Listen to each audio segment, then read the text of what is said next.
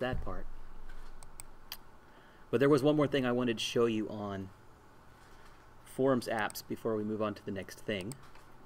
Since you asked me how to make an exit, um, let's change our button so it actually says exit. And the way to do that would be and or e ampersand xit. That way we follow convention. So that would mean Alt X would trigger the button so it doesn't the ampersand doesn't have to come at the front. It can come anywhere and indicate any of the letters.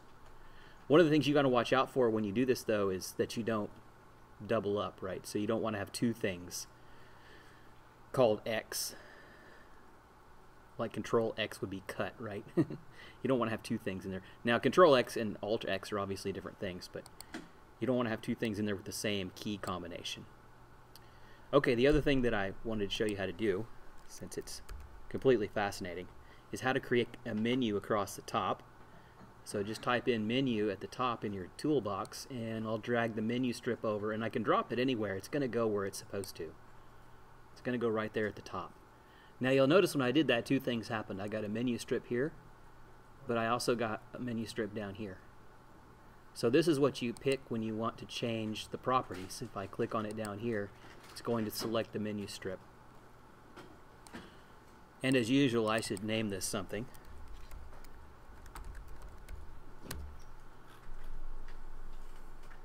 And making a menu is super easy. So we do file. Now we want to do and file, right? So that the thing is there. The little shortcut. So what if you actually wanted an ampersand inside? You do it twice. Like so.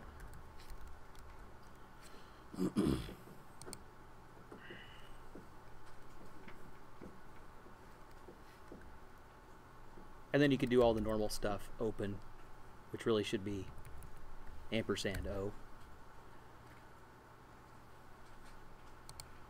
Okay, so that's pretty nice. You can also right click in here. I think you can.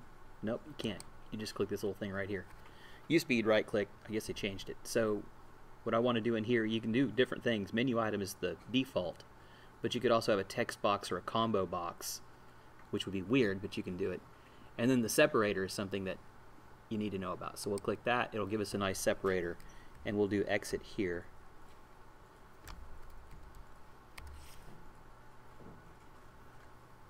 Now that doesn't double up because Alt X will trigger the button, Alt FX will trigger the menu. So now when we run this,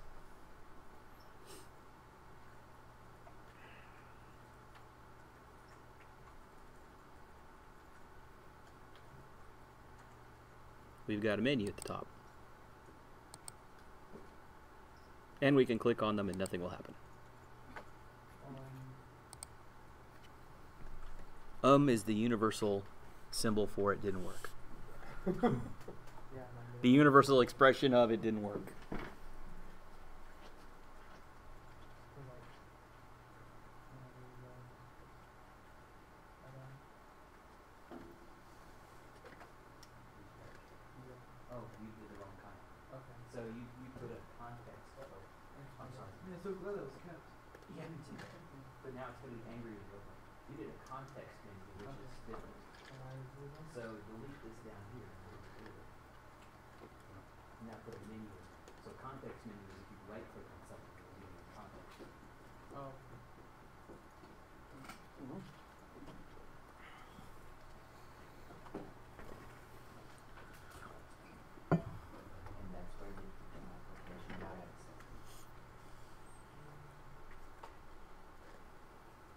Okay, so that's menu. There's other things that you can put in here too. The stuff that you're usually going to put in here, and we're not going to go over this in great detail, but we can put a tool strip up here, and now you've got your classic menu bar, right? So you can add buttons, labels, so it will look like this right here is the menu bar for Visual Studio. And you can add icons to it, and so forth. So now we've got our menu, we've got our icon bar, and then the other thing, this window doesn't have one, but there's usually a status strip down at the bottom. So if we do a status strip, Drop that in there and you'll recognize that one as well. And you can have different things down there at the bottom. So this is just in a nutshell how to very quickly make an application for Windows. So there's one more thing I want to show you and then we'll move on to the next kind of program. And that is, we I told you earlier we had this uh, thing set up where we double click the button. It kind of makes an assumption that you're going to want the click if you're clicking a button. And Visual Studio will always do its best to figure out what it thinks you want. And it's usually going to default to click, but it doesn't always.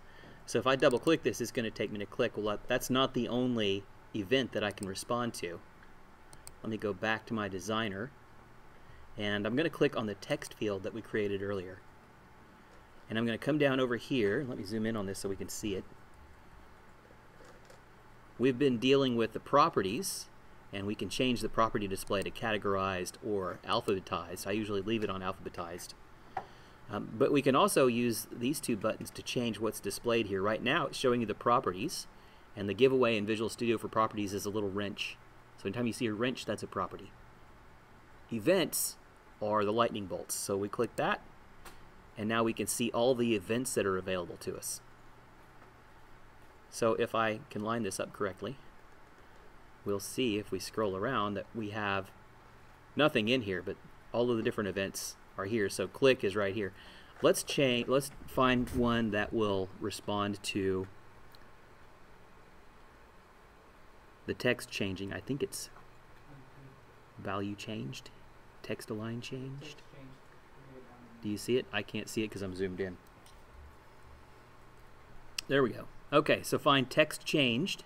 Now at this point you can type a method name in here if you've already created one, but if you haven't, you can just double click and it will make one for you.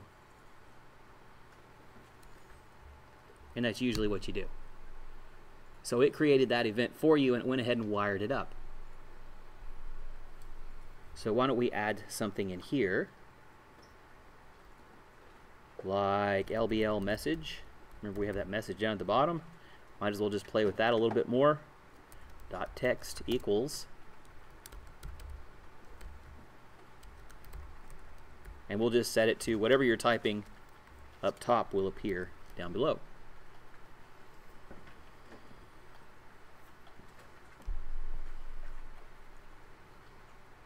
And that's how you set up your own event if you would like to do that, and at some point I'm certain that you will.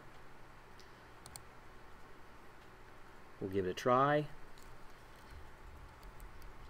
Ooh, I wonder why I didn't. Oh, because it's still it's not visible, right? So we have to make it visible.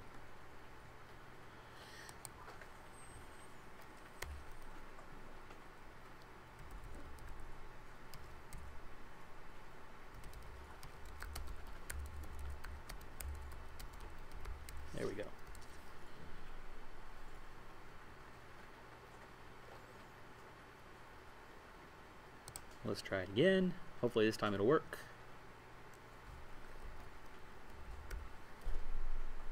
Okay, not bad.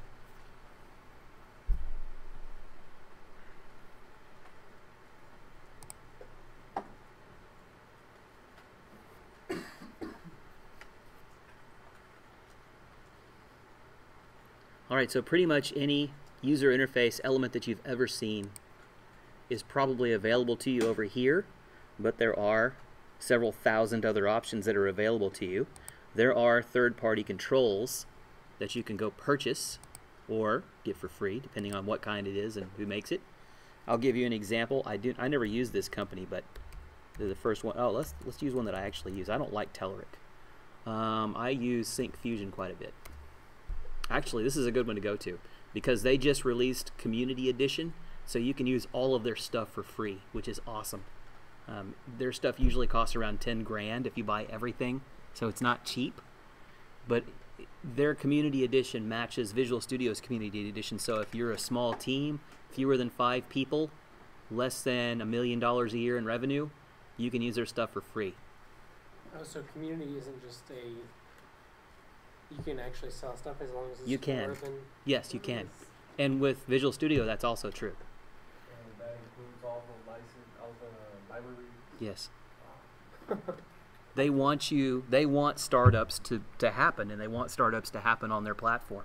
You have other options, right? You can do everything in Java completely free, regardless of how big your team is. So that's that's a draw for Java.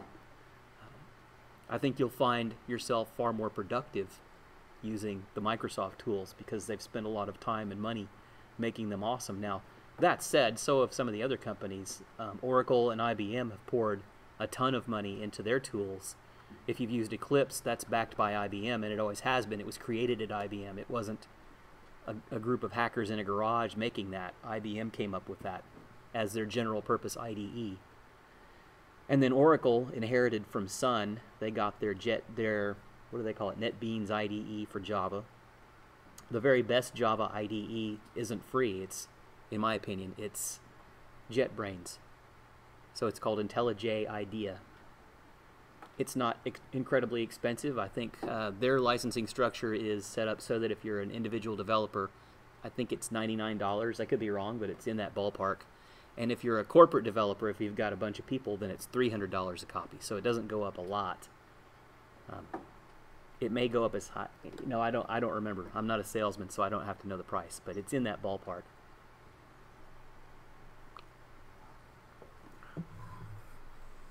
But this is an awesome set of tools, and if you go look at it, all of their tools are available on all the platforms. So if you make something for the web, you can turn around and use almost the same controls, make the Windows Form app, Windows Presentation Framework, which I'll show you in just a minute, you can also do the mobile stuff. So all the mobile stuff is here, and we'll talk about mobile in just a minute. The other thing that's really handy is they have these file formatters for you, so you can read and write Excel files, you can read and write Word files, you can read and write PDF files. I use these quite a bit in my applications. And then if you're going to go buzzwordy, um, then you can get into the big data platform and predictive analytics, and now we're completely out of the realm of multimedia and game programming. Um, but these are the big fields that people are going to want the jobs in, you know, coming in the coming year and going forward. Mainly because the marketing people are into this, and marketing people have deep pockets. So you can go, you can go work for a marketing company, you probably should. They they will pay you a lot of money. okay, so if you want some of this stuff, you all you have to do to get the community license is just click on it and you click you don't have to give a credit card or anything you just click claim free license you sign up they send it to you it's that simple um, I used to pay for this and then this this is new. This community edition just came out in January and so this is brand new. Um, and I'm totally psyched about this because I had the uh, the web version and I want to make some Windows Forms app and some some other things. I was like wow I can't afford this. Um, but now it's moot. Uh, the other thing that's great about this, and I'm glad, I'm really glad I came here, you should sign up because there's two other things in here that are useful. So let me sign in real quick, and I'll show you what they are. Um, if you tweet, you get entered into a contest to win a cool prize. I think it's a smartwatch or something like that. Uh, let me see. And it's a bit buried. Okay. Come over here to ebooks. And they're publishing all of these books. So what they're doing is they're paying industry experts to go out and write these books. It's called the Succinctly series. And what this is is topics that developers care about, new and emerging technologies in 100 pages or fewer. So all these books are designed to be short so that you can get everything you need and there's stuff in here that you guys need. I, I've mentioned CUDA. Well, that was probably the other class. Um, but there's CUDA programming, which is how to access your video card. Um, I thought about showing you that and saying, haha, I was right, they bought Unity, and seeing you guys freak out. But that's not what that means. That's something else. Coincidence, right? uh, Linux, okay, big deal if you go down here, you are going to start seeing things that are useful to you. There's there's a thing on machine learning. Okay, so how cool is that? Regular expressions. If you haven't been to hell yet, read this book, and you'll understand what hell really is. At church, we say it's a place devoid of God's love. Here, we say it's regular expressions. Uh, localization, you want your stuff to run in multiple languages. PowerShell, that's not a bad thing to learn. You want to learn Android? There it is. It's, I mean, there's tons of stuff here. Wait, did you say entity framework? Yes, Entity Framework is in there. You should never use Entity Framework because it's a piece of junk. Oh. It's complete junk. Now. I say that you should learn it because it will get you a job, but if you're writing your own stuff, you should ignore Entity Framework because it's ridiculous. Um, a caveat that I usually share with my students is that anything that Microsoft generates is probably a bad thing. The only exception to that rule is your user interface. It generated this. Okay, you, you really can't get away from that. But Entity Framework will generate all of your classes, all of your database tables for you, and it's designed to make your coding life easier, right? Um, let me see if I can remember.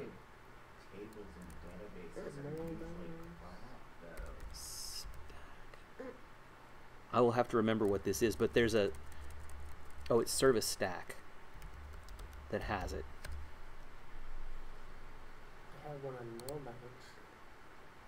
They have a book on ServiceStack, but the reason why I'm going to ServiceStack is ServiceStack has an ORM in it with, which I don't really care about.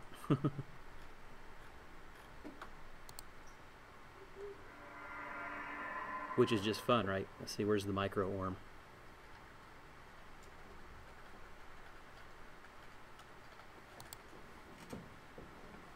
Ah, that's not what I wanted.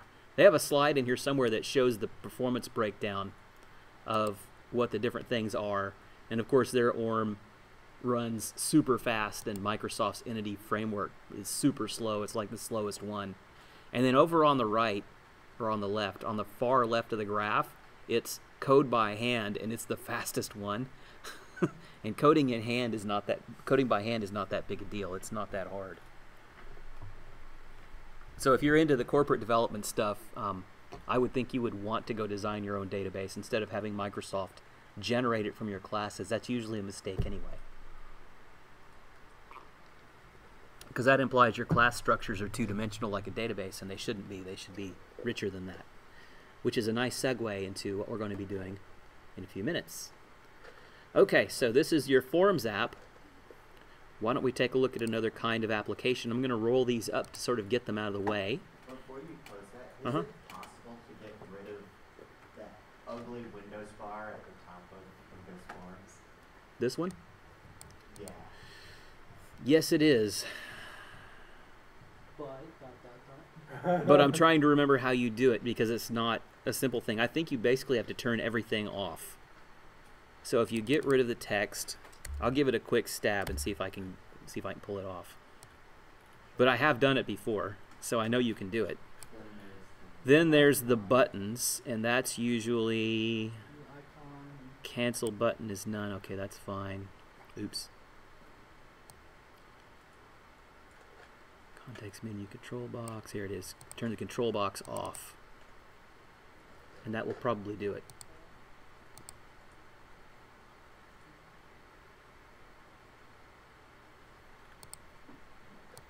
Of course, now you got no way to move it. but that's not to say that you can't implement something that will move it, because there are libraries designed to help you do this, to make an application that doesn't have the ugly Windows thing at the top.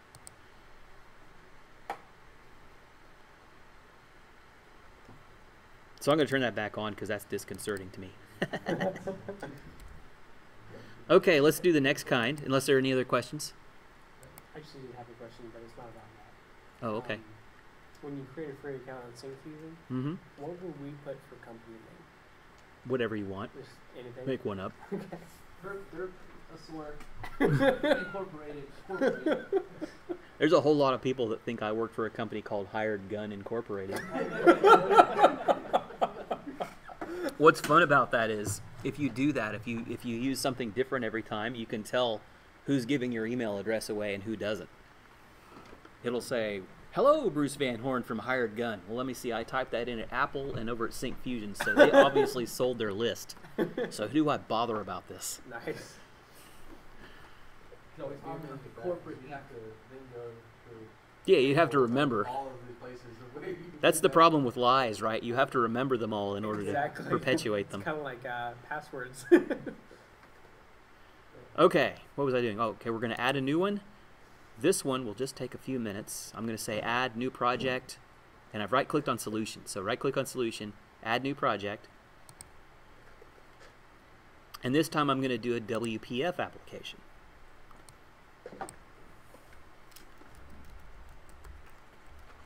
I'm not going to spend a whole lot of time on this because you have entire chapter on this in your book.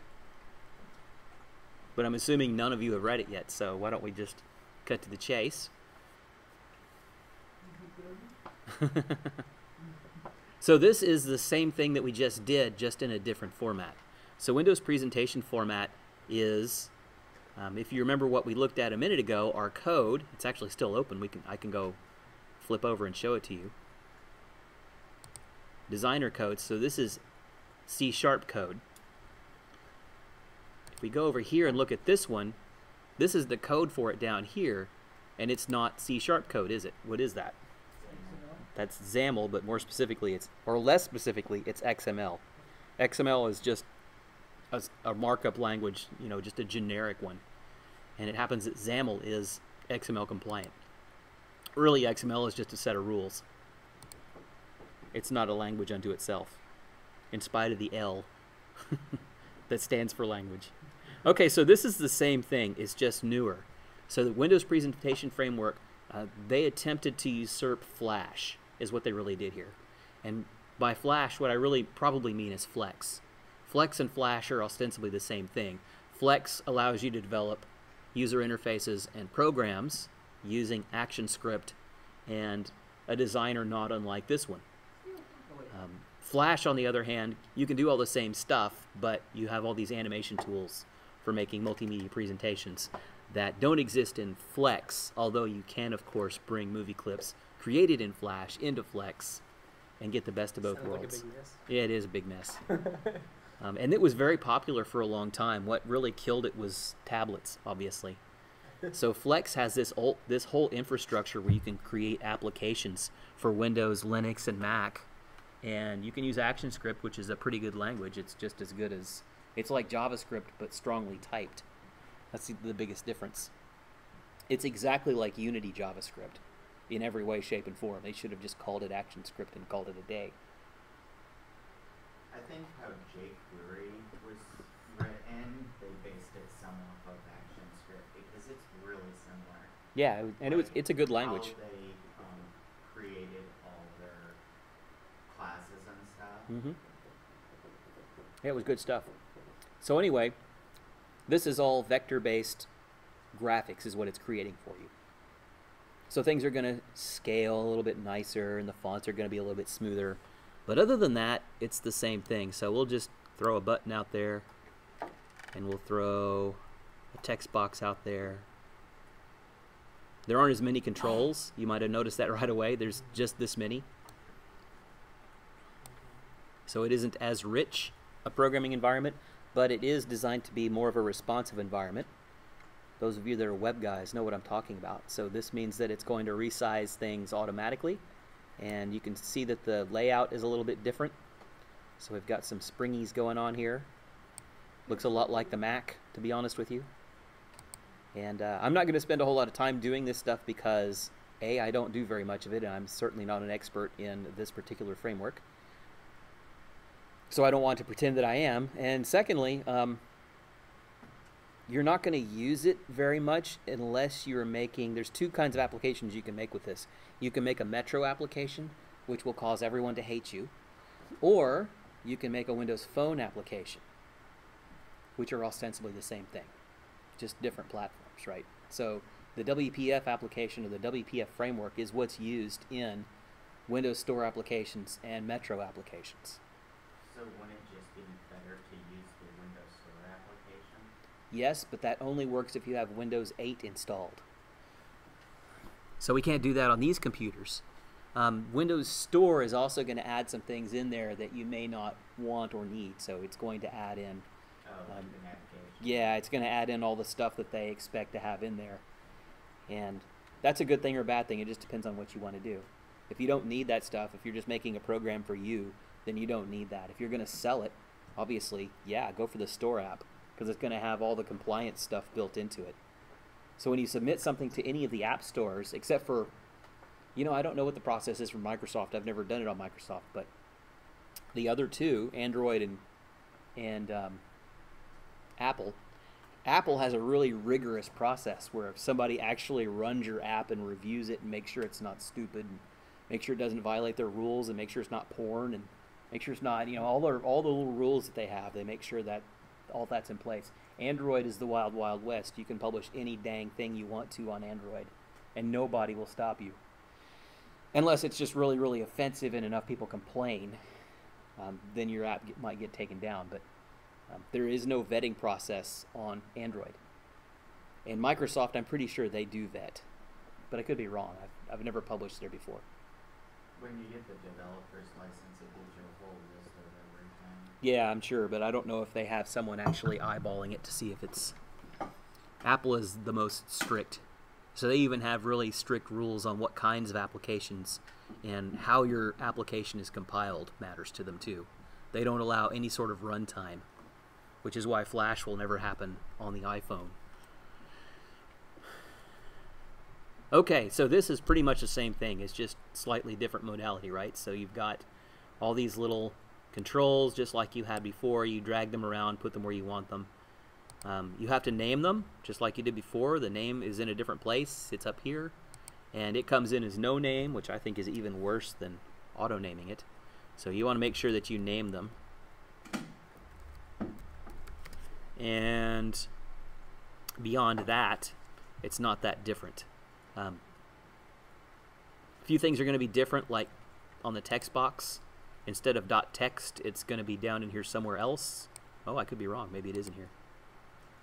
I don't think it is, though. That's the layout and what's in there. I think it's content, if memory serves. Oh, nope, there it is. Common text text box. Yeah. Yeah, it supports multiple undos. If you don't want that, then you can turn it off. So if you change it, you can undo it up to 100 times. Um, double click, just like before, will get you the events.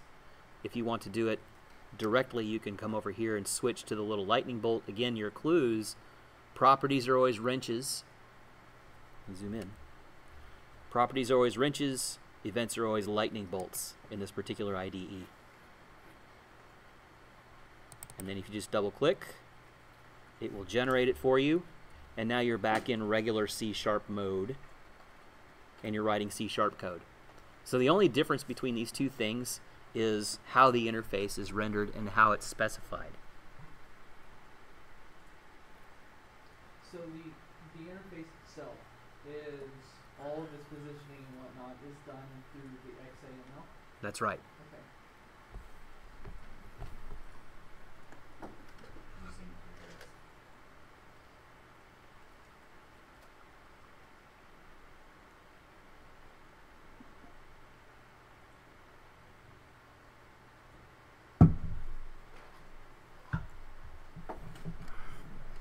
Okay, so that's WPF.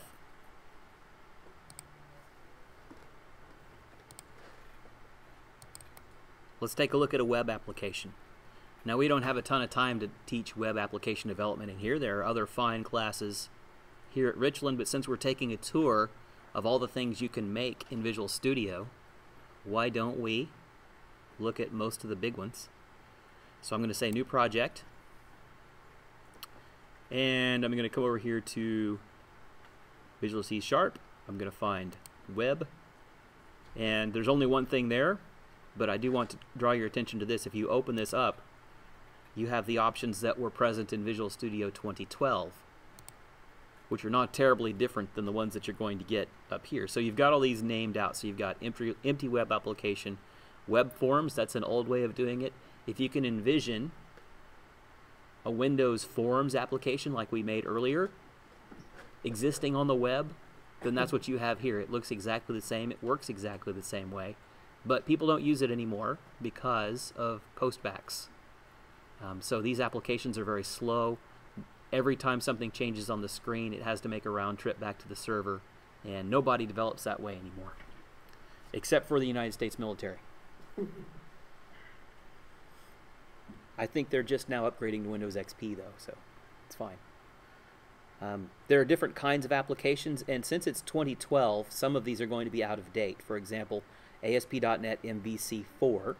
MVC is an acronym, it stands for Model View Controller, which is a pattern, um, which is not terribly important to know unless you're doing web development.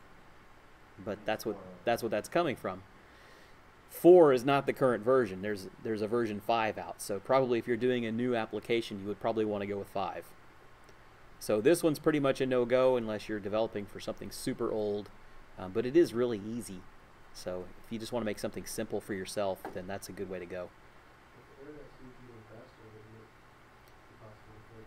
Yeah, but users are really expecting things to be zippy and faster, and internet speeds are getting faster, but devices are getting slower.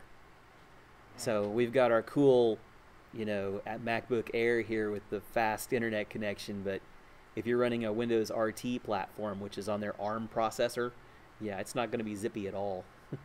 so you really want to maximize things so that they go fast, and that means doing everything on the client that you can. Yeah, the post back is horrible. Like when you have a form and you forget to enter a field, it has to post back before it does the validation unless you have client side validation. Yeah, it's it's ugly. it is fun to play with though, so I encourage you to do that outside of class. Okay, I'm going to go back up to web so we can look at the modern one. And I'll call it Pancake Web since everything else is Pancake.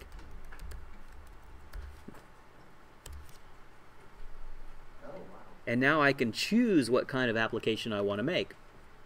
So ranging from empty, which gives you pretty much nothing. If you select this, all you're going to get is um, a config file and maybe an HTML file if you're lucky, and the um, application, the, the properties file that we always get. Okay, web forms, so you're starting to see the similarity, right? So web forms gives you a web forms application. MVC, they're not locked to a number this time. So that's usually what you're going to pick, unless you're doing really modern stuff. If you're doing really modern stuff, you're going to go with a single page application or a web API, and these are kind different kinds of applications. So this one is really designed if you have lots of different kinds of user interfaces hitting your website. So envision this, you have a front end, and thanks to Obama, everyone knows what a front end and a back end is now, right? it flooded the news, right? The back end is screwed up, the front end is screwed up. It's, it's, it was hilarious. People were, you know, you hear secretaries in bars talking about the front end and the back end. I think that's awesome. Anyway, this is really um, a case where we've got a web service. Just picture a website, but without a web page on it. And you can have an HTML user interface, like most applications have, but you can also have an iPad program running that, that executes against this web API. It goes out and makes calls to the server. Um, or I guess more near and dear to many of your hearts, you can have Unity post things to a server. And this would be the, the kind of project that you would use for that.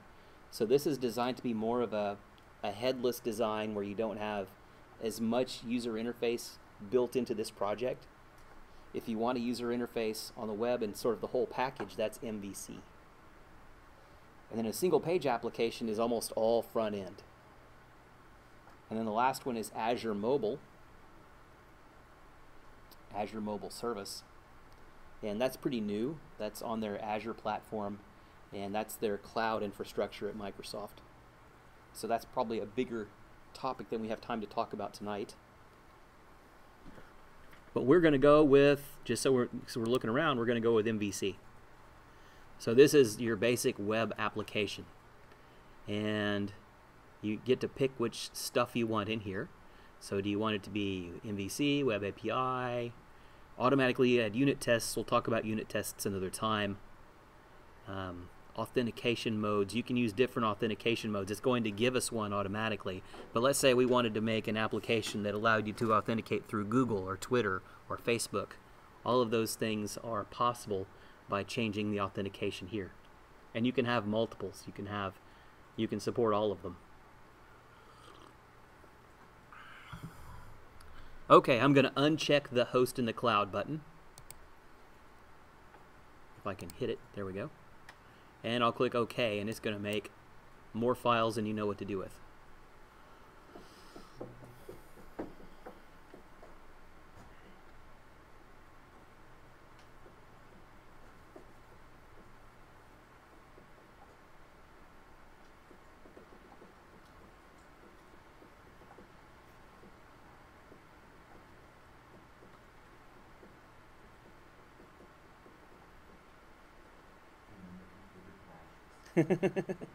Didn't say it'd be quick.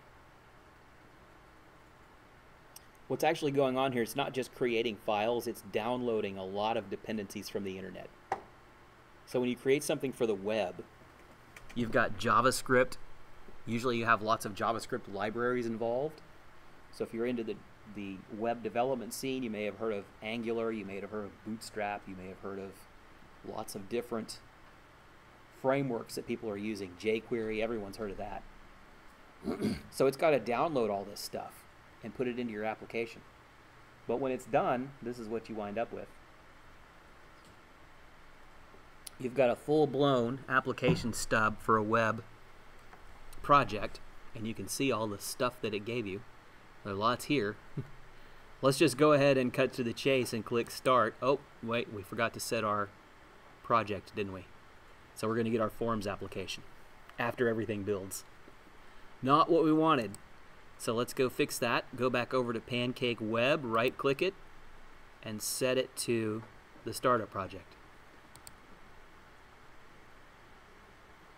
Okay, now we can come up here and we can, the other visual clue is this changed from run to the default browser.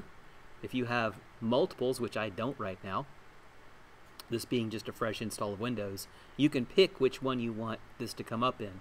So if you had Firefox installed, it would say Firefox in this list, or Chrome, or whatever. Since I only have Internet Explorer, that's my only choice. So I'm going to pick that begrudgingly.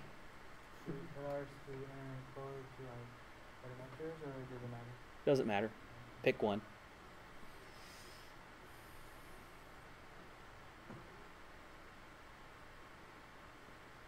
And it will launch, and it does. So there's some things that are happening here that are pretty neat, pretty worthwhile. Um, as it turns out, Visual Studio is actually a very good web development IDE. So it's going to give you a lot of the advantages. We've seen autocomplete, we've seen all kinds of neat syntax checking and things like that.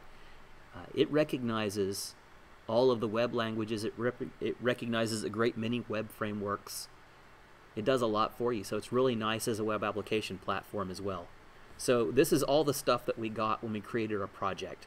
And this is a lot of stuff.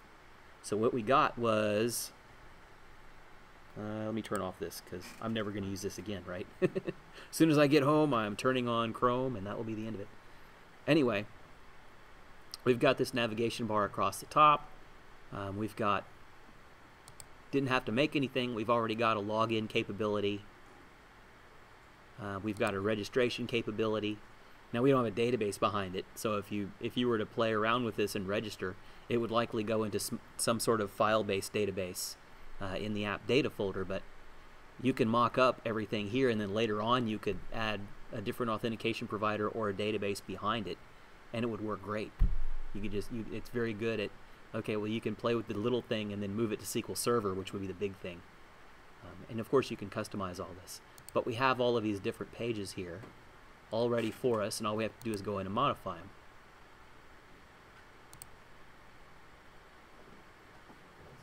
Okay, so just like before, if you quit the browser while you're debugging, it will take you out of debugging mode, which you can see by the bar at the bottom, being blue now. And if we want to go in and change something, we need only find it. um, it's a model view controller setup, so views, everything that you can see is in the views. The models are going to be your objects. and the controllers are going to control what you actually see. So let's just play with a view real quick since that's pretty straightforward. So let's open up home and let's open up let's see if we can change index CSHTML. Now, you may not have heard of CSHTML before. That's because pretty much only exists in Microsoft land. So this is a new thing that they have come up with over the last few years, and uh, it's called the Razor templating system. And what this is is basically all of the stuff that you're seeing um, that you got automatically. So you've got some things in here uh, that make up Razor. So this Jumbotron thing, this comes from Bootstrap, which is a JavaScript um, UI framework. There are some other things that you can do. Let me see if there's a good example in here. Yes, there is, if I can get up there. Let me zoom out. You go up to the top, you'll see something that is most distinctively not HTML. So this stuff up here at the top with the curly braces, and now inside these curly braces we have what? C-sharp code. So you can write C-sharp code in here and it will recognize and work with it, though that's not the best place to put your C-sharp code. So let's just change something um, in here where it says ASP.NET. Let me see if I can roll this up.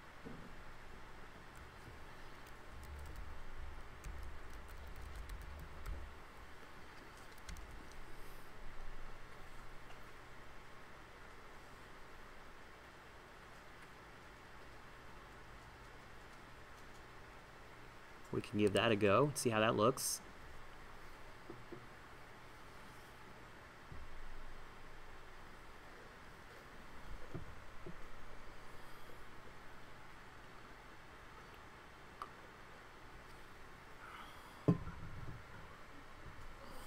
So you get the idea. Now it's just down to HTML development for the UI. And then the back end part of it is usually going to be in the controllers. So again, we can't make this a web development class, which is too bad because that's 99% of what I do. What's your question?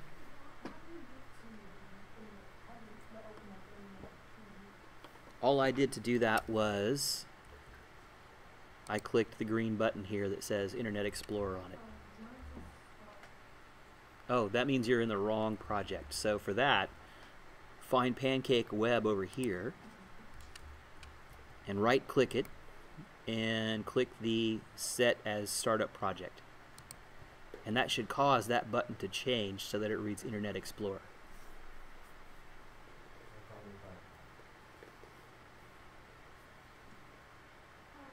You get it? Okay. I'm going to run this one more time so I can point something out to you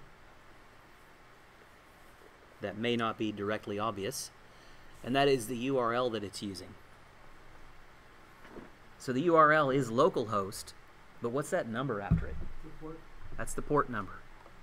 So Visual Studio has its own web server built into it. It's called, actually, I think they may have changed it. It used to be called Cassini. Now I think it's just IIS Express. So IIS is Windows um, web server, Internet Information Services. And it's built into Windows Professional or higher. So if you have any professional edition of Windows, you can install a real version of IIS for free if only you have your installation disks, usually are required.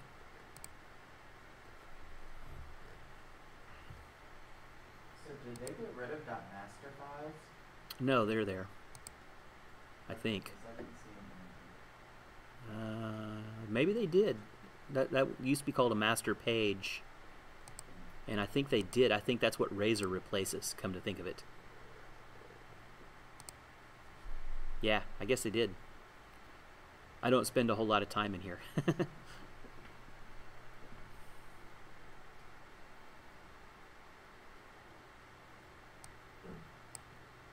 Let's see. What was I going to show you? Come up here. Where'd my- There it is.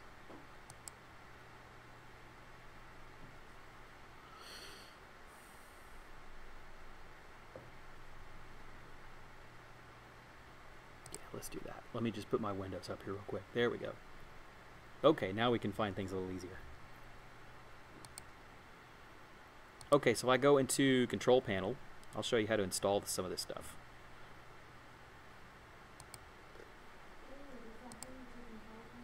Yeah, Yeah. Welcome to Windows 8. I'm sorry, it's not going away. Everyone at work's like, I'll never use Windows 8. Well, it's like, well, they're getting rid of Windows 7 like in two months, so yeah, I think you will eventually. Well, I actually like Windows 8. Took a while to get used to, Is 10 different? I have the I have the download, but I haven't looked at it yet. It's kind of like a combination of both of them. Weird. Well, yeah, everybody hated Vista too, right? It did go away, though. Every. It didn't have security. Yeah, it had that It- UAC thing. That was my problem. Then they fixed and I was okay. Yeah, Didn't have most of the drivers. right. It was a disaster. Yeah. Yeah. Every 10 years, Microsoft releases a disaster. weren't from Windows, they were from the fact that they supported it.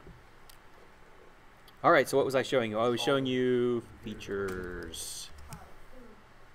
Okay, so if you go in your control panel, this works in 7 or 8. It might look a little different, but if you go in and say turn Windows features on or off, then you can configure the features that are on Windows. And there's two things that are worth noting here.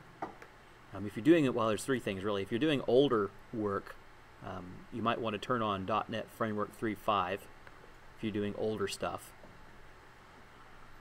But if you want your own web server, independent of Visual Studio, you can just turn this on right here. So here it is, Internet Information Services.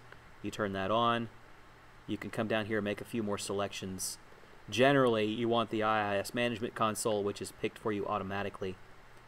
Generally, you want application development features. You're definitely going to want to turn that on for your ASP.NET 4.5 so that your stuff actually runs outside of Visual Studio. And then I usually turn on WebSocket Protocol because that's a new and cool thing that lets you do things like long posts, useful things. So you turn that on. The other thing worth mentioning is Hyper-V. So Hyper-V is Microsoft's virtual machine technology. So I probably don't have to explain virtual machine since you're looking at one right now, right? So I'm on a window I'm on a Mac, but I'm running a Windows computer here as a virtual machine. So that's exactly what it lets you do. You can create a virtual machine and run operating systems in there. Very useful for testing. I don't know how useful it is for testing games. Um, it would be worth looking at. You could probably do simple testing uh, because your performance on a VM is never going to be as good as it is on a real machine. But it, it should be good enough to do simple testing. But for regular applications, it's you really have to have this. The real question is, can you run a vi- virtual machine within a virtual machine? Yeah, you can. You In can fact, you have to. Yes. So if I were to make a Windows Store application in here, VMception. it it uses it uses Hyper-V to emulate Windows phones, um, iOS, Android, things like that. So yeah, it has it's using that. Now what you'll run into problems with is if you want to use VMware and also use Hyper-V, you can't do that. It won't let you. In fact, VMware will not install if Hyper-V is turned on, which is a bummer. because really, VMware is pretty good. Uh, Hyper-V is second to worst in my opinion. it may actually be worse. The worst. The worst. Okay, so that's web applications. Um, again, we don't have time to go into the whole model view controller thing, but it's as you can see, and really the point of this exercise is to show you you can make pretty much any kind of application that you want to make. You can make it in Visual Studio. What is it?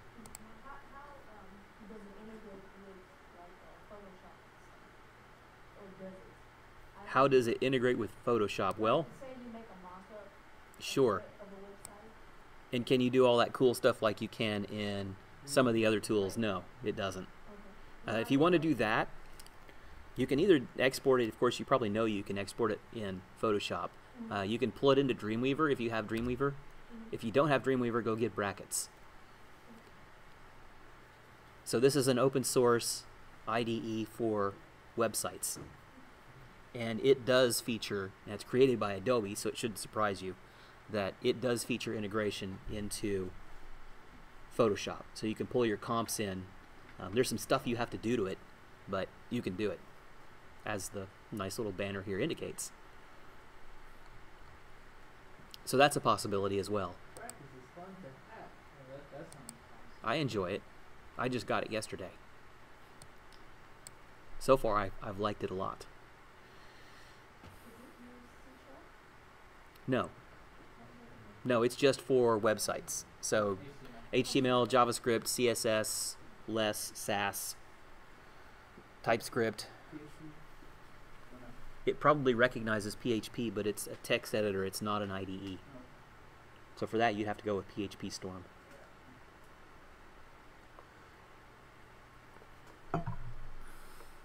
Which is what I use for my PHP work. Worth every penny. Okay. Any questions so far? Comments, snide remarks? Nothing? They got rid of content holders too. No, that's still there because that's where you still where you put all your stuff. So it's here. Have at render by Oh, I see. in the layout. I thought you meant this right here. Yeah, this is still where you put all your images and your CSS and stuff like that. Oh, I meant like the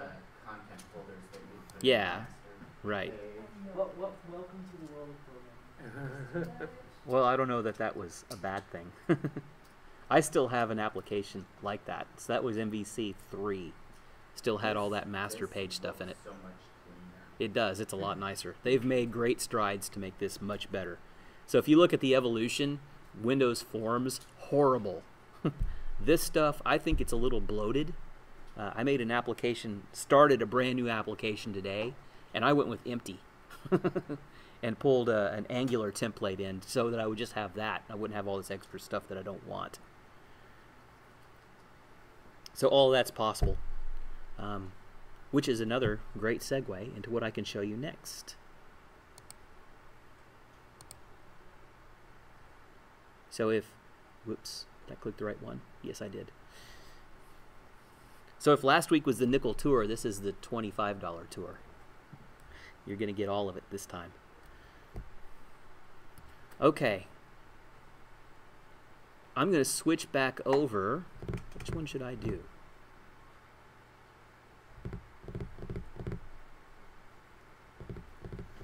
Ah, we'll leave it here for just a minute. The thing I was going to show you next are Visual Studio extensions. So if you go to Tools and go to NuGet Package Manager, and then go to Manage NuGet Packages for Solution. Has anyone ever used Linux before? Specifically Debian, Ubuntu, any of the good ones. Have you ever installed something using apt-get install? Yes. Okay. apt-get install comes to Windows. Oh boy. Except it's really geared towards programming packages. So these are third-party tools, libraries. In this case, it's just tools, things that you want to add to your program. And there's thousands and thousands of them. So beware that this is here. You can come out and add things. Like uh, in this case, I don't know that we have Modernizr, but let's just pretend that we care what Modernizr is. Uh, I guess it is there because it says manage instead of get it. See if I can find something that isn't in there. I know that's in there. Let's see what ANTLR is. Okay, that's perfect. That'll work. So let's say we're going to use ANTLR. Not that you ever would, but let's say you were going to. Click Manage, and you can click which of your projects you want to add it to. So just for fun, let's add it to our console app and our web app. I'll click that. It's going to come down. Apparently, it was already installed, which is horrifying as far as I'm concerned. And they put it in to the ones where it wasn't. So I'm pretty I'm pretty sure it was in web and it wasn't in console because now we have this references section. So let's go look and now we can see all the stuff that it added. So there's the ANTLR runtime. So ANTLR is, in case you're, you're wondering, it's a language processing tool get from Linux. And it's got the kind of grammar in it that only a regular expressions geek can love. So uh, that's why it never gets used. Except apparently somewhere in the bowels of Microsoft's web application, it's there. Just like hide under the carpet a little bit. Exactly. That literally is the monster living in your closet. If you ever need to use regular expressions, just do a search and copy paste. Somebody else has already figured it out. In other words, I'm sorry. Yeah, probably the most famous JavaScript developer alive right now is uh, Doug Crockford. He's the lead architect over, I think he's over at Yahoo. I could be wrong. Anyone listening to this online, please don't come to my house. Um, if I got it wrong, I'm sorry. Crockford is, is sort of venerated as the Yoda of JavaScript programming right now. And um, he has some pretty strong opinions on regular expressions, which match my own. He, he basically says you should never use them because when you look at regular expressions, they're so terse that you can't. I mean, it takes a special kind of brain to look at that and go, oh, I understand. and I prefer, and what I'll teach you is I want you to write code that anybody with a C sharp background that is, you know, you have to assume a certain base knowledge, but assuming a base knowledge, uh, they ought to be able to look at your code and know what it's doing. They shouldn't have to sit there and think about it for 20 seconds to figure out what's happening there. So if you can write code that looks like that, then you'll you'll be a lot more successful. Um, and I'll give you the horror story from my uh, my current my current job position. Uh, I inherited a large application, a, ver- a very large, complicated application from another team of developers. Actually, it was one guy, and he went out of his way to make everything more complicated than it needs to be. Um, so he's the exact opposite. He's my anti my anti pattern. So I I think I sit at work and I, I think to myself, what would, what would I'm not going to say his name because this is going to go on YouTube later, and I don't want him coming to my house. what would so and so do? And I'm going to do the opposite. so at, at some point, I may bring some of that in so you can look at it and I can show you how not to write code because it's really really bad. It's like he got a textbook on all the all the patterns and abstraction and all the stuff that you learn in a graduate level object oriented um, design course, and it just sort of exploded, had kids, and then threw up all over the inside of an IDE.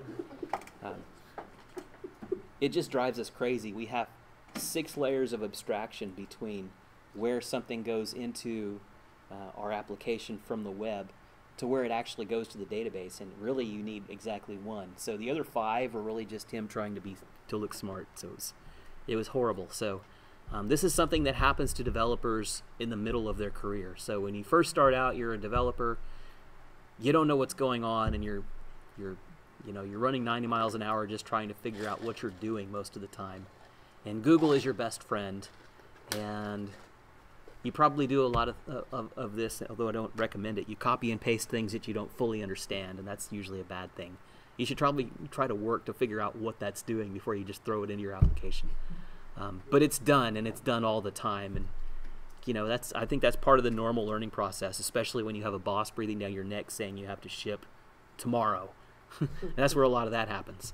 Um, and then you get a little bit of knowledge under your belt, and then you start trying to be clever, and this is where you start shooting yourself in the foot. So you you create all of this clever code and code that generates other code and code that reads from generated configuration files that were generated from another generator, um, which you downloaded in, in this generator. and it's very, very, very clever, but it's not very useful. And then you get past that after you've shot yourself in the foot a few times and you can't walk right anymore. Um, then you start realizing that simple is better. So I'm going to lecture a lot and try to save you self-inflicted foot injuries and explain to you that the simplest the simplest thing is always the best thing unless the complicated thing makes it go faster and then you have to do the complicated thing sorry but then you comment a lot then it's okay. And you hear about regular expression, and you just Yeah, you should avoid them if you can. When you research, you think it's cool, and you try and use it, and you just you find yourself at a bridge, and you're like, how'd I get here? And sometimes there's just, I mean, that is the best thing. If you want to do something complicated, like you want to validate an email address, which has a lot of moving parts to it, well, you'd have to write 100 lines of code to do it outside of regular expressions. So uh, that's something that's tried and true. Go find the one that, in fact, Microsoft will give them to you. You right click, say, use the regular expression for that, and it's, it's built in most of the time. So that stuff, go for it, man. That's, that's fine. Okay, next thing I want to show you is the most useful thing that I have shown you so far. Now that you're on the edge of your seat, let's right click. We're going to create one more kind of project. So we'll select Add, New Project, find a Visual C Sharp, and find the one that says Class Library.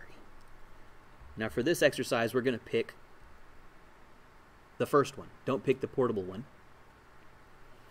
Pick the regular one.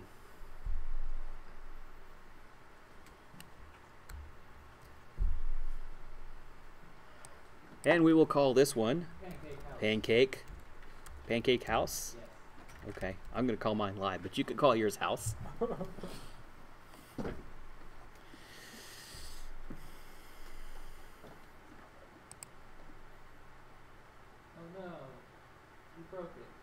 Huh. May have come from a. That's bizarre. That must be. Yeah, I've never seen that in my life. No. Don't do that again. That's dumb. I. I there's nothing in it. How can it be a security risk? I it's- think, I think it was wondering about the. Um, I think it downloaded the template from the from the internet really quickly. I was thinking it was like when moved it or something because you did that. and, Yeah. Fine. Okay. so yeah. Well, I don't know. I'm making guesses now. Never mind. I'm just gonna stop talking now.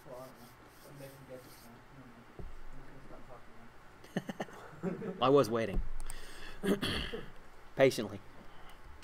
Okay, here's what I'm going to do. I just went ahead and closed that. In fact, I'm going to close all of this stuff because I don't want you to get confused. So I'm going to select close all documents and it'll shut everything down. And now there is no question which one we're dealing with. So it created for me when I made this project, it created something called class 1, which I'm now going to delete.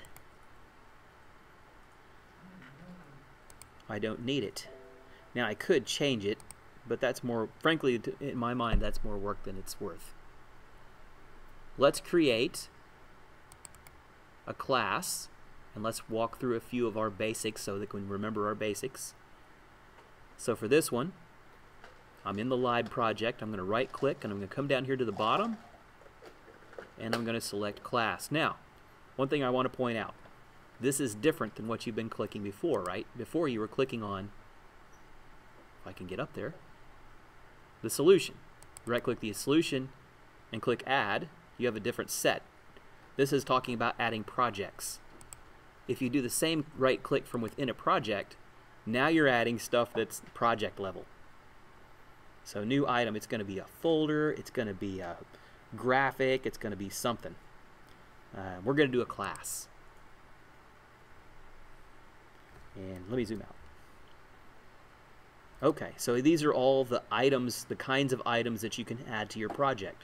Not the same thing as adding a project. This is a thing inside a project.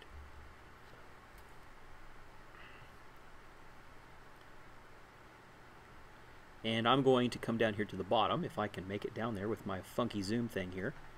And I'm going to change the name of my class to, what should we call this? How about we uh, start thinking about our Dungeons and Dragons assignment, and we will make a character class.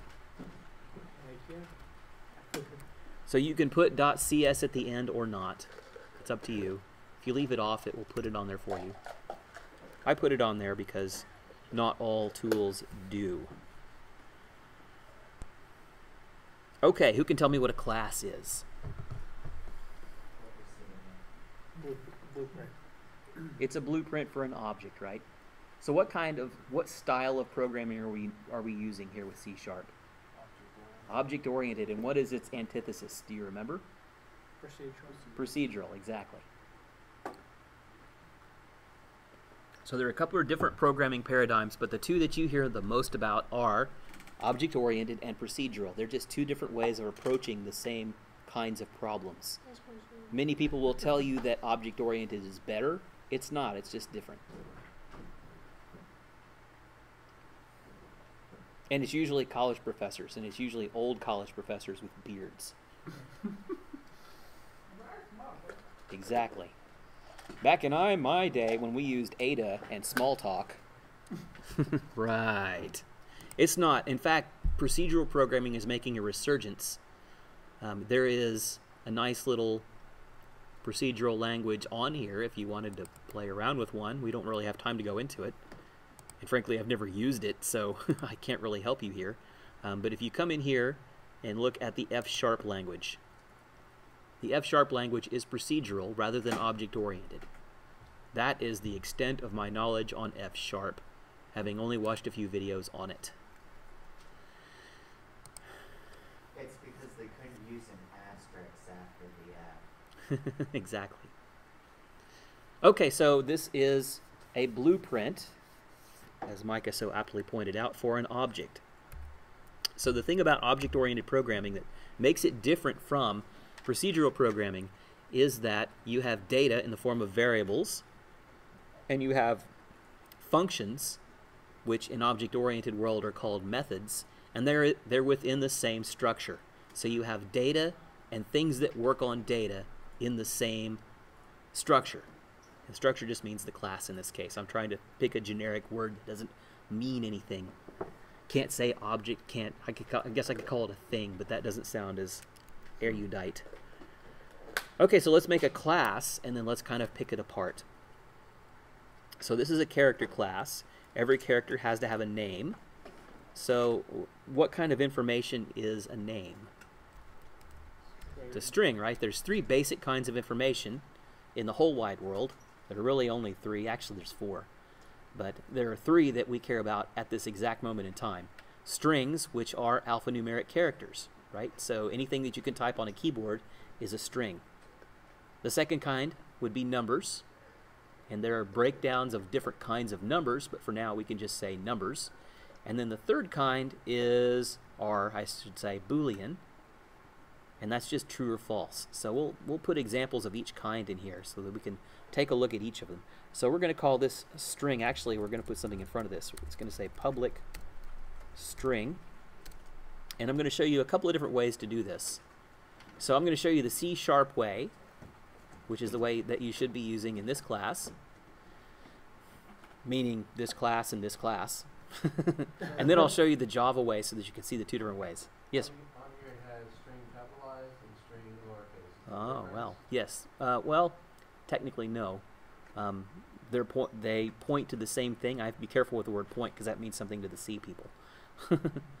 but generally, you want to use the lowercase one. They're trying to accommodate Java people. Which brings up a good point. I'm glad you asked that. Um, this language is case sensitive. So uppercase, lowercase matters. So you have to get uppercase, lowercase right. Okay, public string, and we'll call it a name. And we'll say get set. Wow. What does all that mean?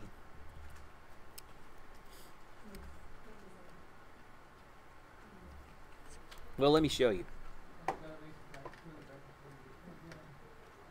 This is what we call syntactic sugar.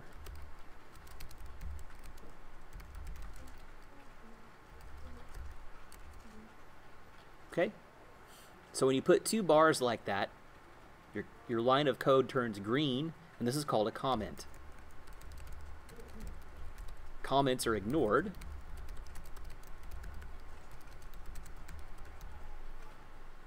And they're used for documentation. You can also do long comments like so.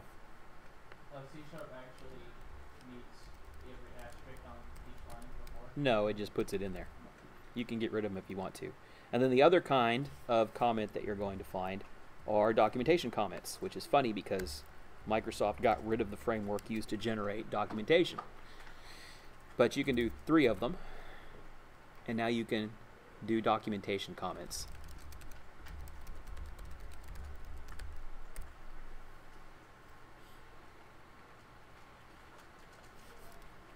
Capitalization matters.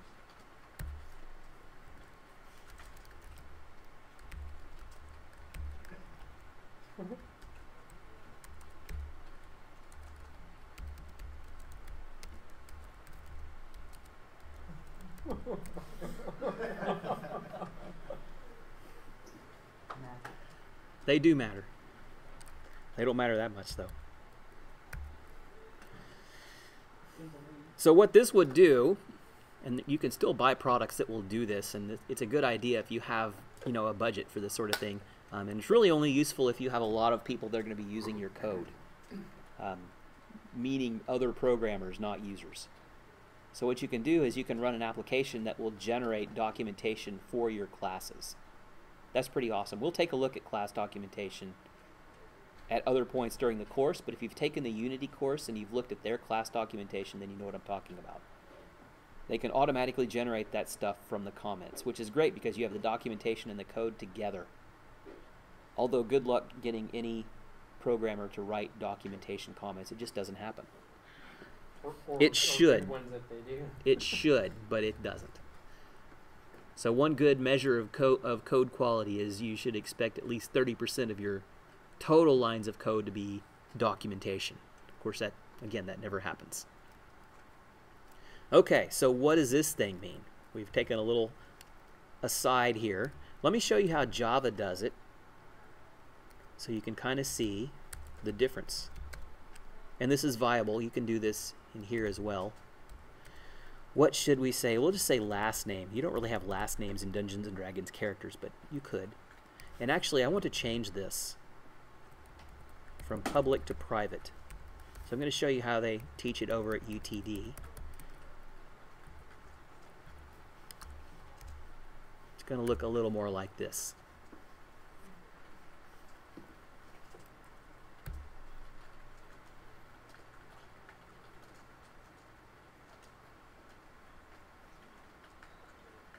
Okay, so before we get into all that other stuff, let's look at this public and private thing.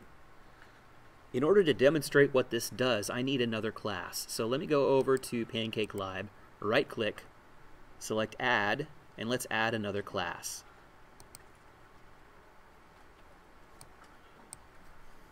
And I'm just going to call this runner. It's going to be temporary. We're not going to keep it. Blew myself up, didn't I? Here, let's go this. There we go.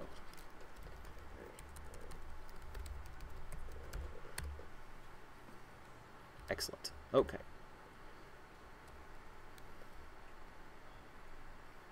Now to make this work, what I'm going to do is I'm going to create some method. Let's say public void blah. Doesn't matter. We're going to get rid of this here in a minute. And let's actually use the class that we created. So let's say var my character equals new character. Bada boom.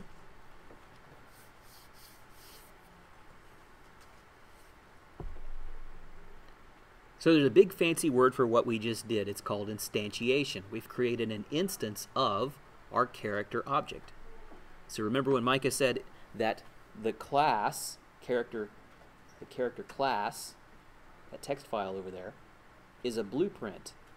It is a blueprint, just like a blueprint for a house. I can make lots of houses from the same blueprint. I can make lots of object instances from one class.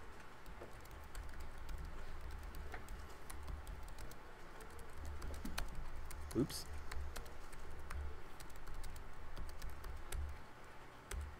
Oops. There we go. I can't spell worth a darn, can I? There we go. Oop.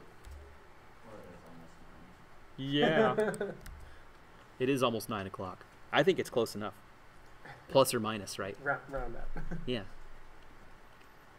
So there's two instances of our character class. These are completely independent of each other. We can change things on my character. Won't affect my other character at all, right? Does that make sense? It's like um, two different houses. You can paint one of them red, but it won't affect the color of the other house. Okay, let's think about that public and private thing that we just saw. I'm going to access the methods and the properties that are on that class, just like we did a minute ago in our demonstration on forms. If we know the name of something and we hit dot, now we can see the properties that are available. What's the clue that it's a property again? The wrench, right? So you see that wrench and it says name. What's distinctly missing from this? Last name, Last name is not there. Why is that? because it's private. Because it's private. So this is called an access modifier. I'm going to switch back over. I'll give it name so it's happy.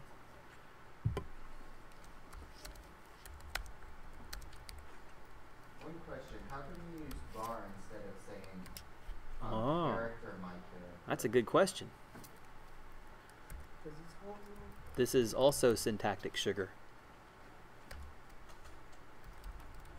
So the Java way, the old way, how about we do Java character?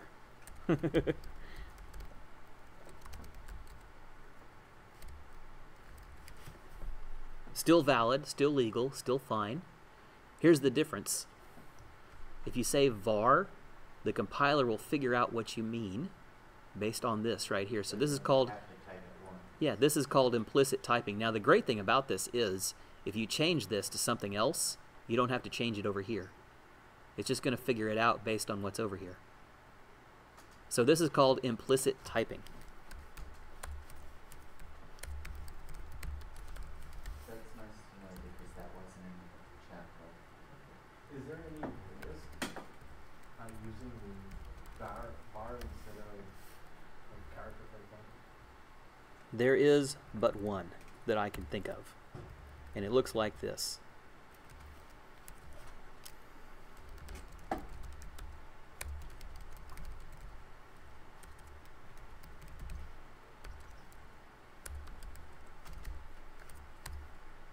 Oops, that's supposed to be a question mark. You can use your imagination, right? it's close enough.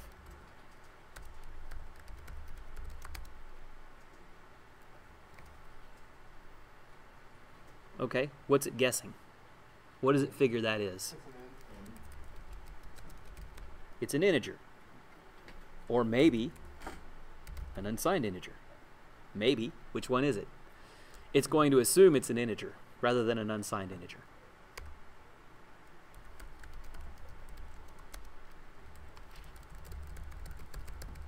Now what is it? Okay. Assuming. Did I do this right? Yeah. My number equals blah. Okay. I have no idea how long that. That's a long number. That's obviously not an integer. And I probably exceeded the limit of what I can actually do. That's a computationally ridiculous number. Um, if there is no place where this is assigned in the code, like I think what's the real the real the real limit is like 4 billion and change, right? So if you go above 4 billion and change and you punch in say 10 billion,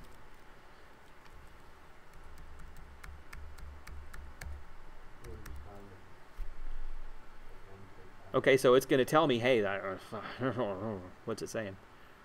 64-bit signed integer cannot implicitly convert type. So there's your explanation. It's telling you it can't. This is a long integer. And we'll get to what the difference between long is, but it's kind of easy to figure out, right? It's a bigger number. We'll talk about why those those delineations exist later.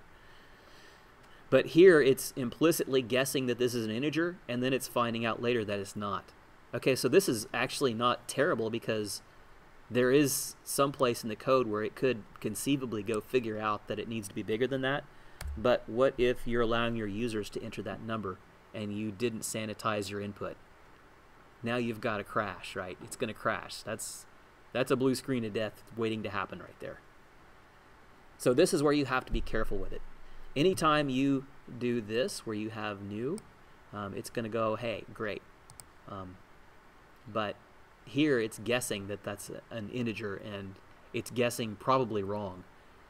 Even if you did this, um, oops, already declared it. So if I do my number, okay, now what's the problem? That's a floating point number now, isn't it? So I didn't tell it. Now, if you're a Unity guy, you know, or girl, you know, you can type an F there. And now it knows it's a float, but it's still confused. So that's where it's going to get you in trouble. Question with the F, does that need to be capitalized or is lowercase okay? lowercase. So that's the problem with implicit typing. But anytime you're using it with the new keyword, you should go ahead and use it. Because that's that's a slam dunk right now. You really can't get that wrong.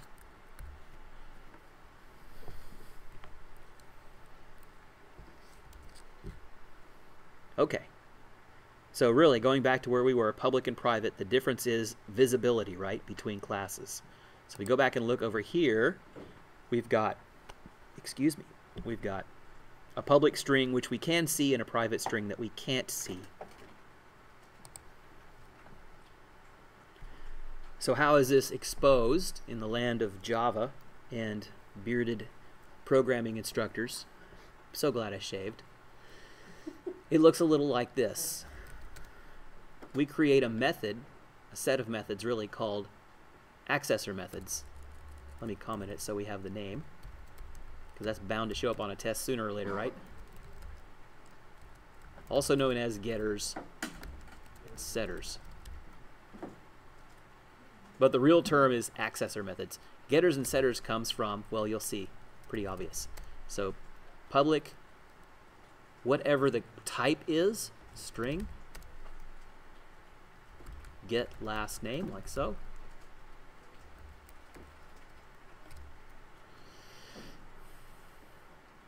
Here's our getter. It's mad. The red underline is because we haven't returned a string yet. So let's do that.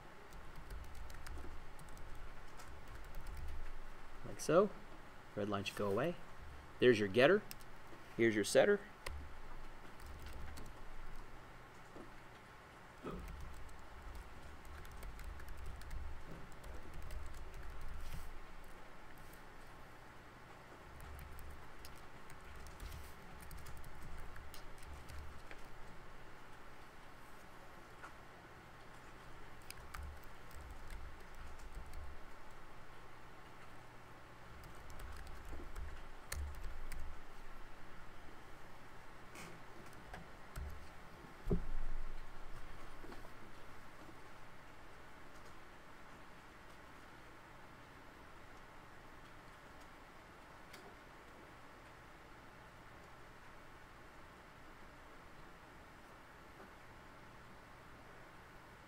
So that's the Java way of doing it.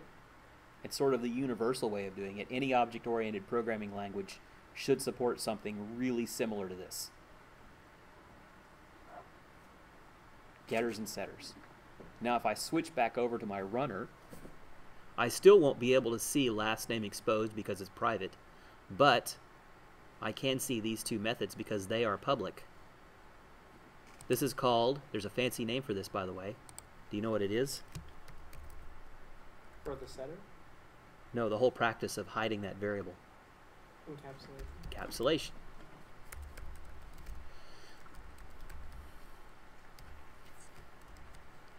Encapsulation is good, but it's often overkill. And I'll show you the overkill part here in just a minute. Now I can get to our setters, right? So we can set the last name. Like so. Or we can get it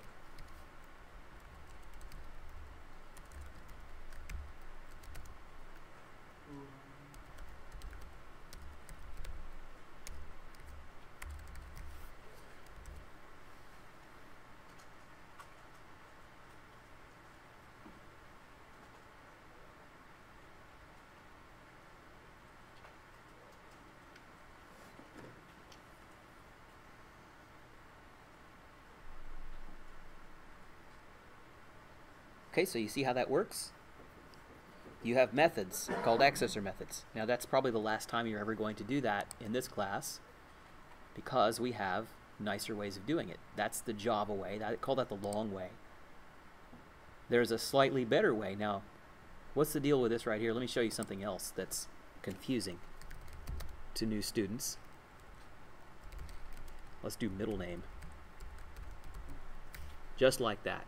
No get set, no nothing.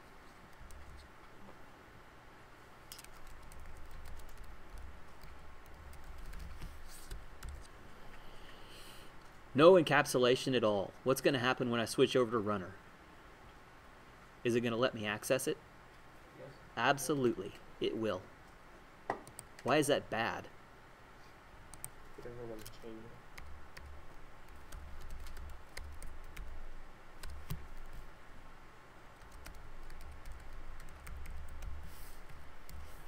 Looky there. Completely legal, completely fine.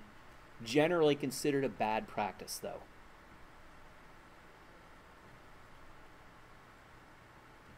So here's why encapsulation exists. Let's try something a little different. Let's try a number this time.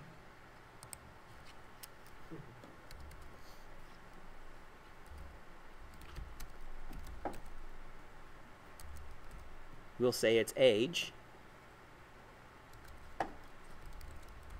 And we'll go back to the C sharp way, which has, well, let's, let's do it this way.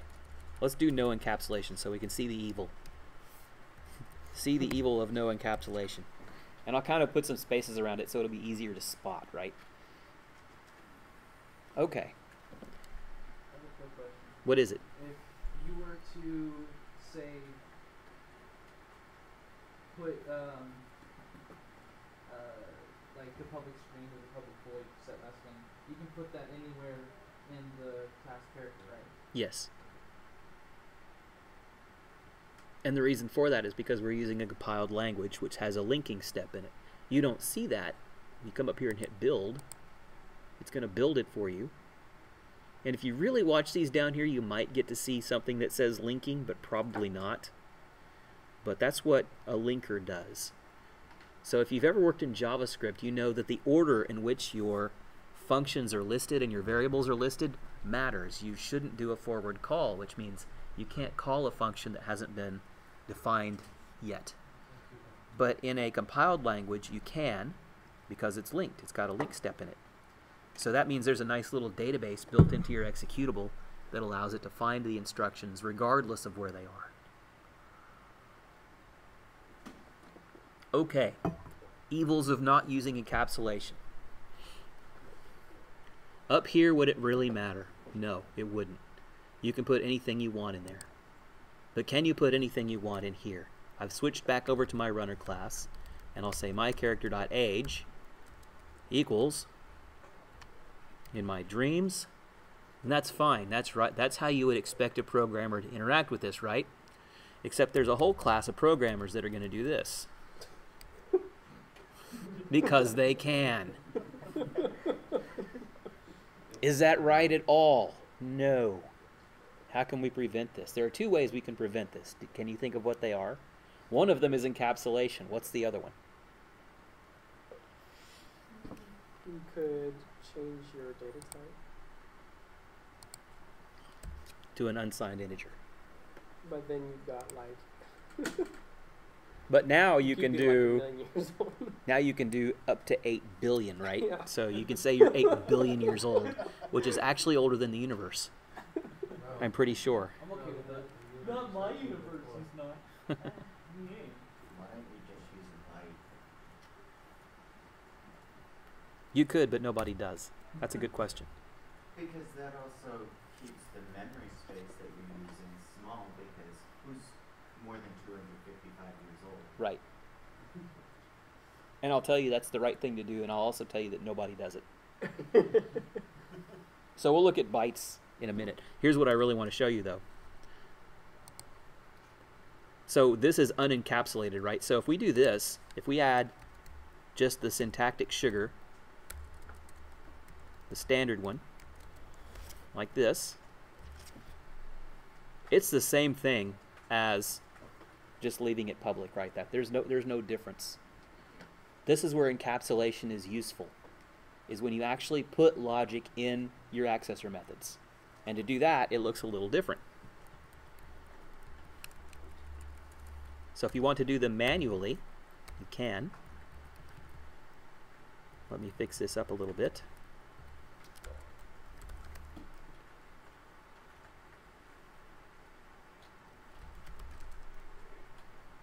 And we're going to get into a little trouble here in a minute. because I don't have a backing variable for this.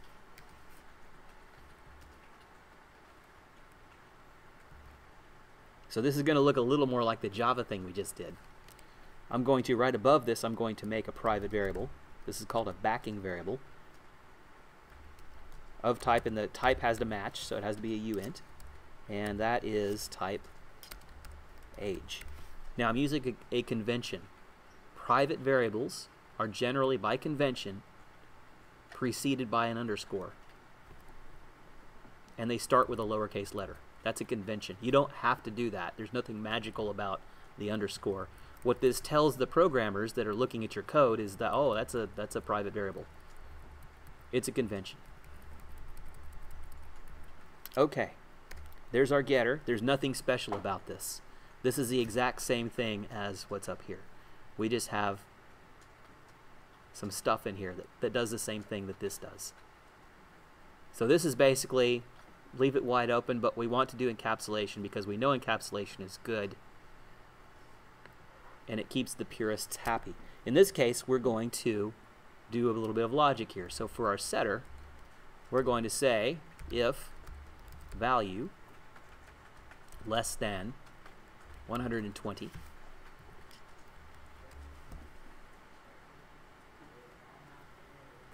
Then we'll say age equals value. Where does value come from? Well, value is built into the language. That's a built-in keyword that you can use when you're doing your getters and setters. So it just assumes that whatever is passed in is going to be held in a variable called value.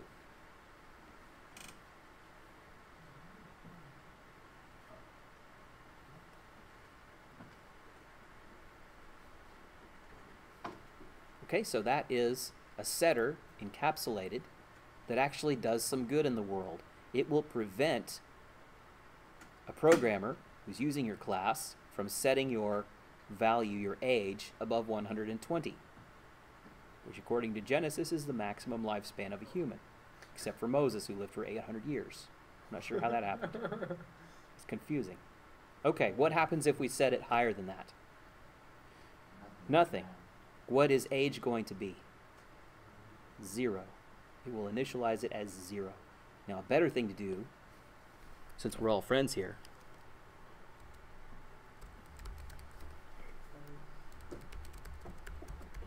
would be to throw an error.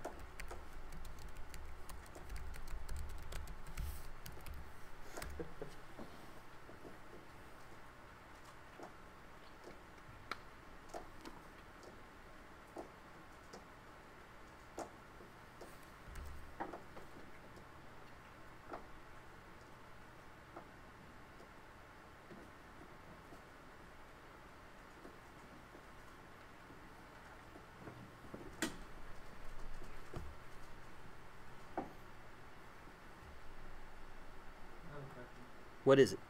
So I did uint underscore age, um, and if I make public int age, I'll get the underscore age to be a red squiggly. Whereas if I keep both of those to uint, then everything's all fine. I think I would have to look over your shoulder for that one. Well, my my public int age, I only I have it public int, not uint. Okay, so you have a public int like this, Yeah, int age. Like that. Right. Yeah, you can't do that. You can't have two of them with, with the same name, even though they're different types. Well, if you change public uint age, then um, and you just have that alone, your bottom one, And change this one to what? you just take it, make it an int, and then take away public uint age that you have up there two lines up. That's how I have it, and then it doesn't like. Oh, well, that's because here we have a uint and here we have an int. Those aren't compatible. So if we change this to an int, then it'll be fine. So because underscore age is referenced in the um, in public in the function public age, uh, and it's using a uint, it doesn't like it because it's using a different um, Type. type. Yeah. So you can think of these if you've ever seen those nesting dolls from Russia. There's got to be a picture, right? Right. Because in a way it behaves the same way as a function, right? Right. When it's returning a value, it has to be the same type as the. That's whatever it's trying to go in.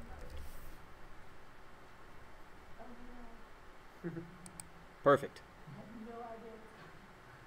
Okay. Oh, look, and they're even they're even political. Oh, great. Okay. So, let's look at this for a minute. President Kennedy will fit inside of President Reagan, right? and President Bush will fit inside of President Obama. All right. So, let's think about this for a minute.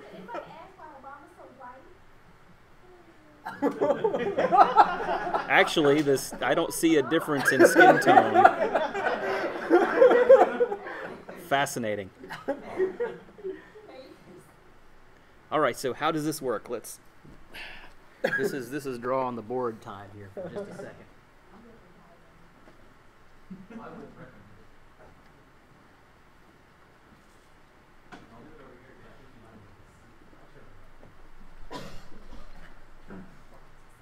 Okay, so types will fit inside of other types.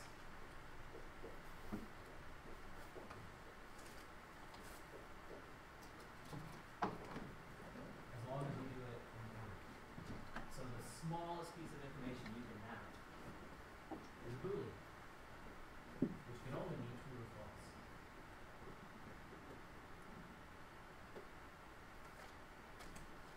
Is there a numeric representation? Zero and one. One is one. Alright, our next type is an integer, which, assuming here is thirty-two bits, we go from plus and minus four billion and change.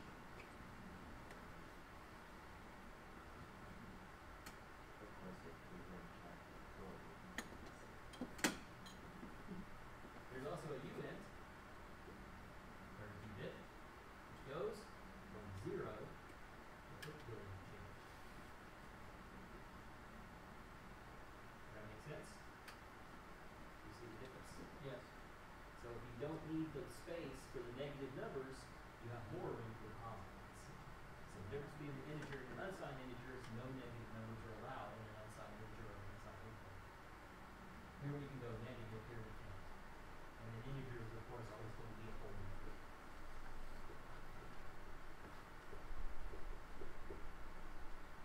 So unsigned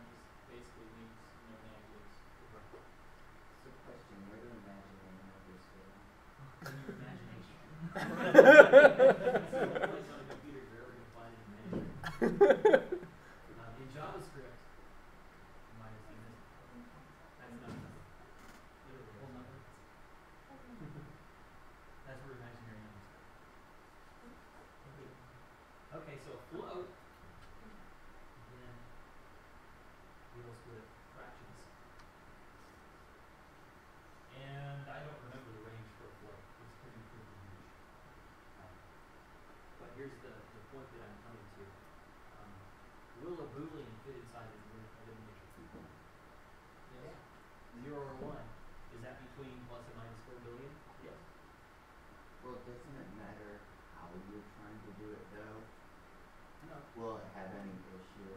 One and zero will always cast up to this side. Okay, Can you go the other way? No. Um, an integer will never fit in a boolean, right? So it's like our nesting box. Will an integer fit inside of a uint? Not negative, but it's positive, it. And you're not gonna be able to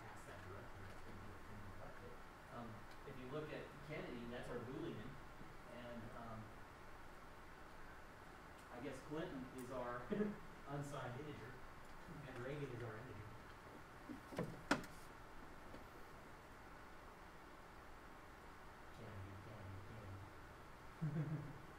And, but parts of, uh, but parts of Clinton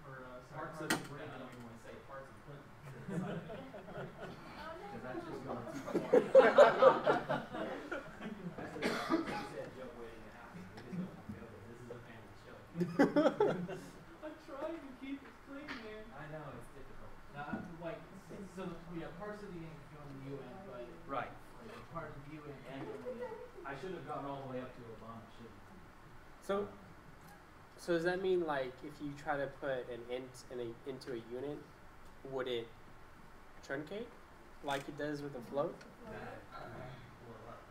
It would just say no, you can't do that. But if you could take a value out, put it into a different variable, oh, okay, so up from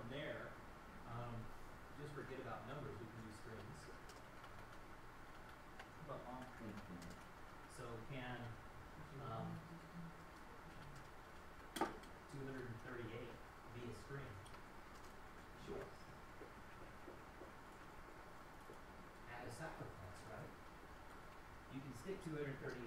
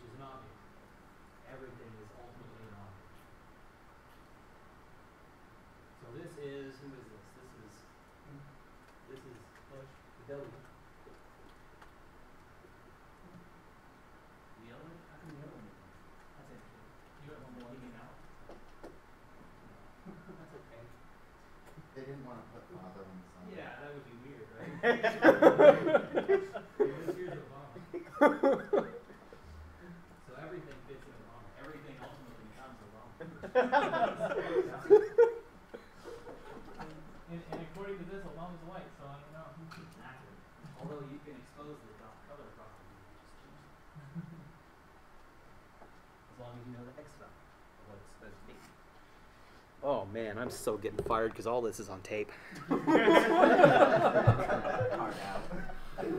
Maybe I'll just edit this out. That was pretty funny. I, I can go do this. I don't know. I might I might get like a million YouTube hits off this thing. Okay. These guys are the The problem is you don't have the presentation recording, do you? Yeah. Everything. Uh, well, they can't see what I drew on the board, Oh, okay. But you do have the screen. but everything that's on the screen is Oh, being okay. recorded, so that's all good.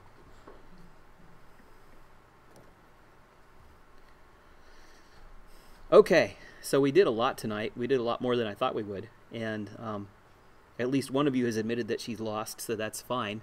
Um, if you're not lost yet, then I'll lose you sooner or later. That's that's normal.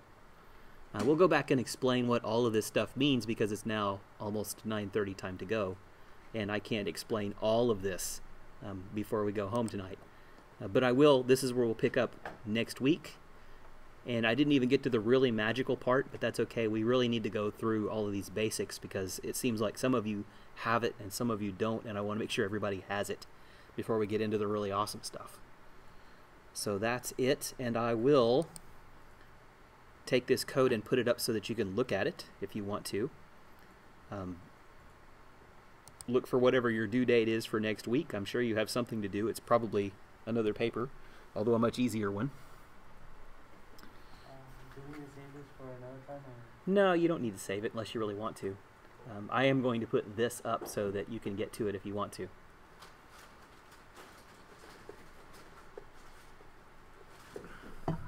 And that's it for this week.